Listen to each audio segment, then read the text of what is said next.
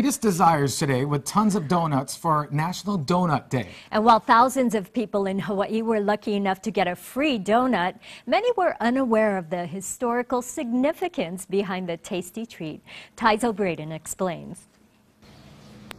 Jesse Salvador has been working since 11 last night, all to make the donuts he is giving away for free for National Donut Day. Uh, last year we made uh, 2,400 donuts to give away. Um, we sold out before our time. Um, this year we actually hit over 5,000.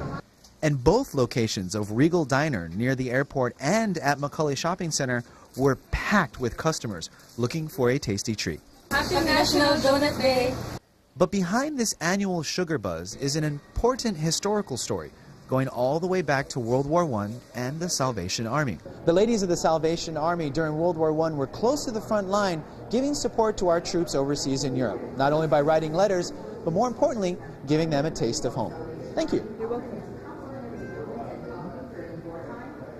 Thousands of Salvation Army donut lassies served overseas not only during World War I, but in every American war since then and their ingenuity under stressful battlefield conditions helped to cement the donut's place in the American diet. The ladies got there and they were able to put together some lard, some sugar, some flour, and make an impromptu uh, donut uh, uh, batter or, or, dough.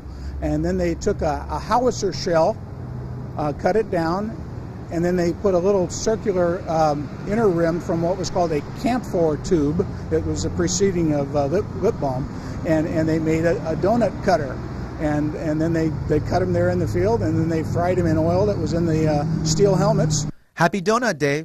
Tyzo Braden, KHON 2 News, Hawaii's news leader.